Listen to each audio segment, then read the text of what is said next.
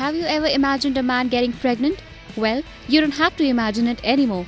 Cause check out Akshay Kumar who just got pregnant and delivered not twins, not triplets, but sextuplets. What you just heard is halfway true. Yes, he is pregnant, but here's a catch. After hosting television series like Khatron Ke Khiladi and MasterChef India, Akshay is set to appear again on small screen as a judge for a comedy show. Kumar shared a teaser video of the same show on his Twitter account where he is shown as a pregnant man. Watch the video captioned as दुनिया सोच रही है, ये अजूबा कैसे हुआ? अपना hero पेट से है। Besides on film front Kumar was last seen in hit क्वाकी film toileted Prem Katha.